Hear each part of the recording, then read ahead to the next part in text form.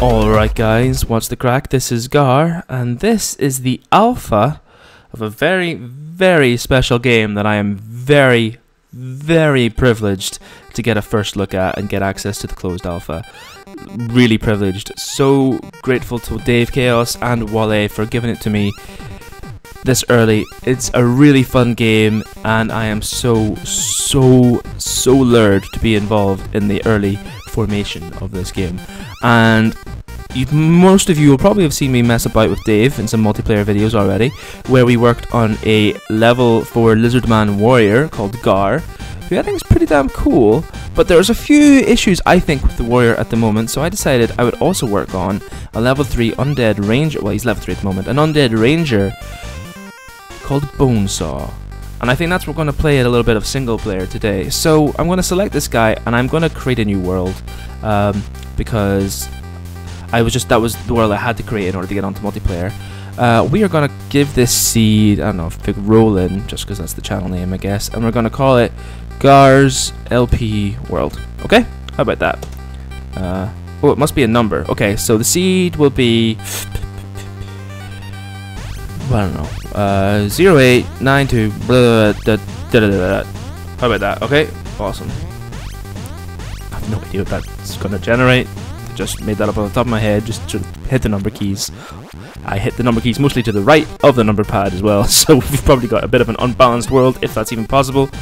But let's take a look at this. Let us take a look. Now there is the, there is a wiki to this, but it's a little unformed. It's a little bit there's not much detail to it. So we are basically trying to work this out as we go along. Now the first thing that I've noticed about this game is how beautiful it is. Now another thing that we've noticed is, see those wolves? They have their name in red, which means they are pretty high tier, and I have almost zero chance of taking them out, particularly taking them out alone. So I am just going to try and kite them here, grab this, You'll also see that because their health bar is red, it means they are an enemy, which means that they are will attack you if you get in range. So we're just going to pick some of this stuff because we need to sell it.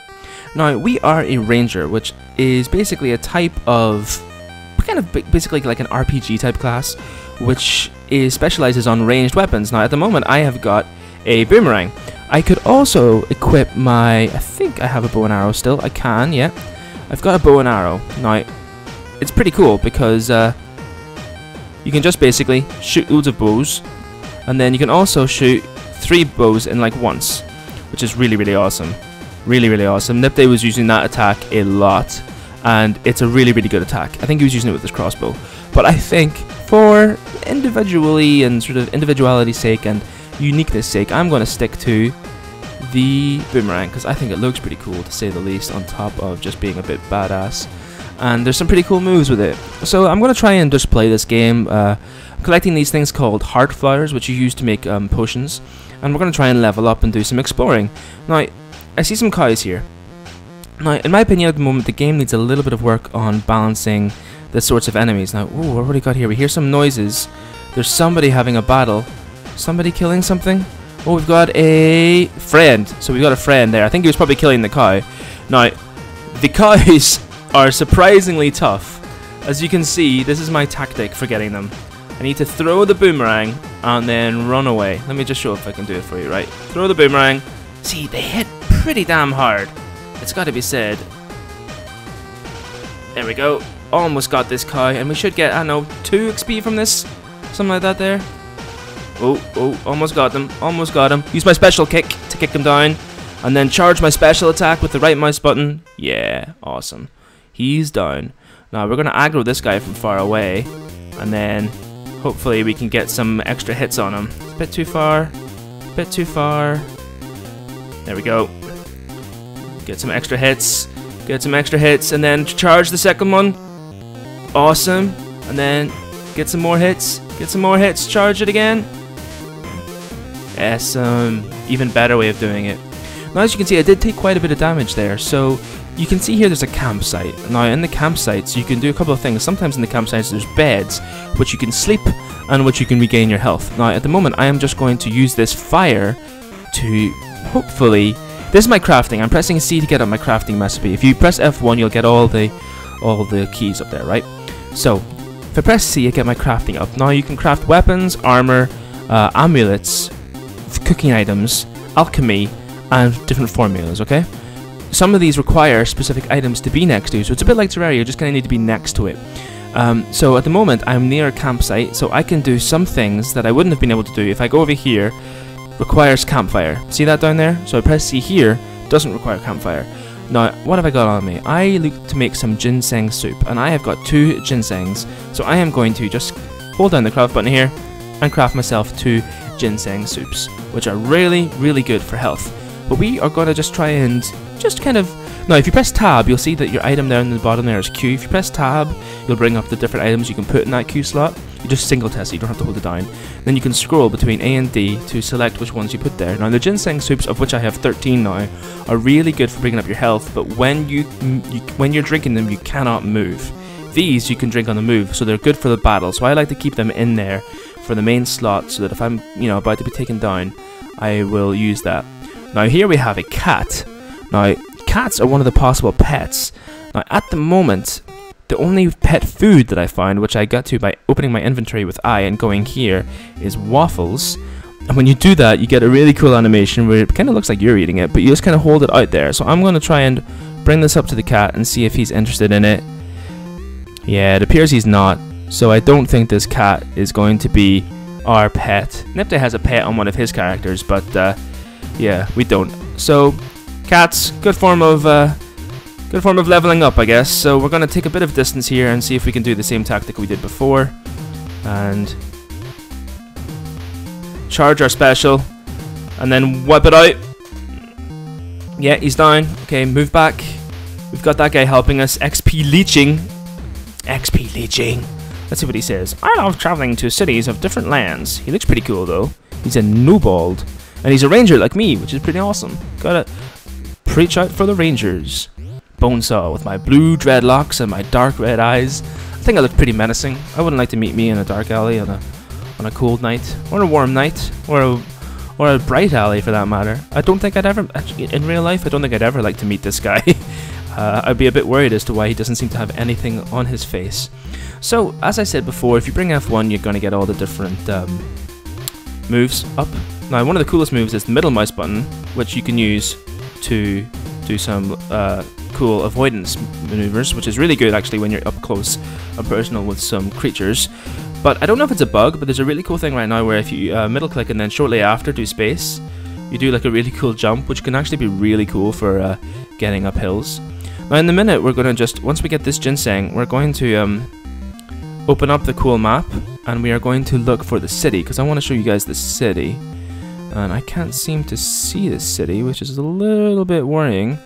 Now, we did just spawn in this world, so there's no telling where things are. I'm going to go this way, though, and go to the path, because that's usually, in my experience so far, which isn't much in the game, I'm going to I'm gonna be honest, usually a way of getting towards the city is to follow the path. Makes sense, doesn't it? Pretty, pretty logical, pretty common sense.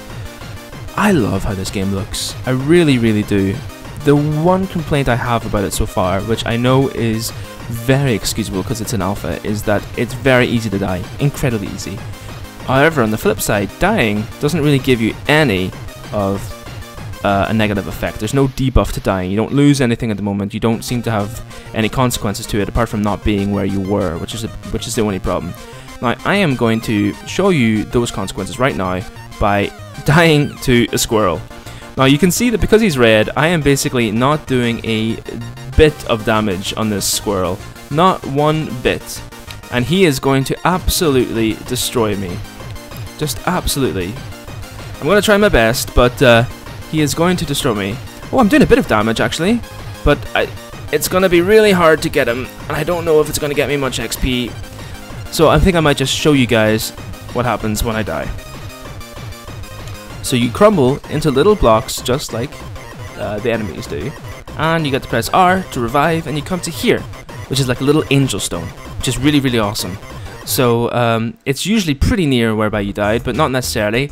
Those raccoons are also absolute monsters, so I'm going to just kite around him, pick up this heart flower, and move towards the path, which I see is just around the corner. Now, as I said, we are a ranger, which means the... Oh god, what is that? It's a dwarf, and actually it's blue, but it's a dwarf mage, which means... You know what, let's take him out. Let's try to take him out. His spells don't look that good. His spells don't look that good. So let's charge this and throw our double pist double boomerang effect. And let's get in there. Another charge. And then we can use our special attack if we need it. See, only 1 XP, but I did get some 12 copper and some plain, plain silk shoulder armor, which I think is about as good a time as any, to show you the armor. Now, as you can see here, I'm wearing some stuff already. So if we go to the armor tab, I, this is where armor would be stored if you had excess stuff. Now, I'm pretty sure that as a ranger, you wear linen. So silk is no good to me. I don't know what silk... Uh, where is the silk armor, actually? Where did I... Where'd it go? Said I received some. There it is. Shoulder armor. You can see there in red, mage. Now, that, so this basically, the mages wear silk, and I am not a mage. So it's pretty useless to me. I could give it to a member of my party if I was in multiplayer at the moment, or I could just sell it and get some money, which is probably what I'm going to do. Early game at the moment, there doesn't seem to be much option for getting um, armor apart from crafting it. You, there is stores that you can buy, but it all seems to be higher tier that, through which you can't actually use, which I'll try and explain when we get there. But I guess when we're here, we'll show you that we've got an ability to have a left weapon and a right weapon. Now, the boomerang is a, is a one-handed weapon, so you can't really do that there. But if you were a warrior, you could have a one-handed sword and shield, for example. There's also a left ring, which gives you sort of special powers, uh, and a right wing, which can give you special powers. You can also have some neck uh, armor, I believe, or maybe it's that's where the amulet goes. I think you can have shoulder armor. You can wear gloves, which is the only piece of armor I have. You can have uh, shoes, which again is also provides armor. Here you have a light for when you're in dark areas. I don't know what special does, and pet is where you hold your um, pet items which will be many and varied, I presume, at some stage. But anyway, if you press F, you get out the torch, which is pretty cool for dark areas. You can kind of see the difference if I come here, but it's it's most it's most prevalent at night and kind of in caves and stuff. But anyway, we are on the path now, so let's take a guess, right, as to where the city is. Let's just take a guess. It is that way because we can see the city. So I am gonna go north. Awesome. And we're gonna try and level up along the way as best we can. Leveling can be a little slow, especially when you're single player. There's it's difficult to sort of take on um, items that uh, sorry creatures that can give you lots of XP. That's because at the moment the the uh, the questing system isn't brought in, which I presume gives you quite a lot of XP for what it is. So what's this? It's a it's a a gnoll. Okay. So your special attack, kick kick attack. It's like a it's the one melee that the uh, it's the one melee that the uh, ranger seems to have, which is pretty damn useful to be honest, because it like keeps them knocked back. Uh, again, pretty damn useful. It's got a bit of a cooldown though, so um, there we go. And again, only one XP, but 19 copper, so we can hopefully buy some stuff. And we didn't take much, uh, we didn't lose much health there, so that's pretty cool. If you're on the paths, you don't really encounter much stuff, so I'm gonna kind of go to the slight side of the path and keep a lookout for some cool things. We have another campfire here, but no bed, so I can't show you the sleeping. Uh, but be sure to look out for more of those. They're kind of dotted around, so you usually see quite a few of them. Sorry, I've got a bit of an itchy nose. Um, what else can I talk to you guys about? Yeah, so um, another one of the things in this game is the dungeons. Now, again, I haven't really got a chance to do many dungeons because um, this guy's a ranger, which is going to be a bit awkward because he's got a boomerang, but He's not as good as me at getting them, so always charging his attack. Oh, avoided with almost precision skill. This is so weird, just taking this guy out, the same sort of skills. He's actually doing better than me, than I... He's gonna take me out. This will be as good as a time as any to show you that if I press Q, I can drink this potion and regain my health a little bit. Oh god. Oh god. Okay, we're gonna go in and we're gonna try and uh, we're gonna try and use our special attack on him. Awesome. Knock him down. Charge this. He's almost there. He's almost there. So are we, obviously. I bet you we only get 1 XP for this. Gonna drink another potion. And then... There we go. Almost down. Almost down. Oh god, oh god, that absolutely wrecked. That absolutely wrecked me. okay, okay, we're going in, we're going in. Knockdown. One bloody XP.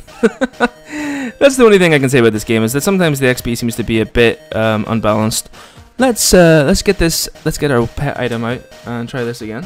Uh, Domino's just texted me. Can we get a platypus as a pet? Platypus, duckbill. Do you want to be our pet? Oh God! I nearly. Oh, I did kill him. Well, not kill him, but I'm gonna. I heard him, so I'm gonna have to kill him now. I'm sorry, platypus. I'm sorry. Uh, uh, uh. And. Now, there's some really cool features in the game that you can do at higher levels as well. Oh, 2 XP from that dude, that's pretty cool. Um, you can, um, well actually let's get to the store and I'll show you there. So I might, unless I see something really cool, I might skip forward until we get to the city. Who knows, who knows. What's that? Those are, there's loads of little insecty things down there. I think they're called insect guards. Yeah, they're pretty, they're pretty beasts, so I'm gonna ignore them. What have we got here? A terrier. Let's try the, this on the terrier. Let's try this. Hey terrier. Terrier. Oh my god! Is he my pet? I don't know what to do. Is he my pet now? yeah! Look at that! Level 3 Terrier is my pet. Oh yeah. Need a name for him. Uh, any of my loyal subscribers want to give a name for him? Put your comment in the comment section below and he will be that name. The most upvoted one will get to be called will get the name of the terrier. I don't know if we get the option to name the pets, but if we do, that's pretty damn cool.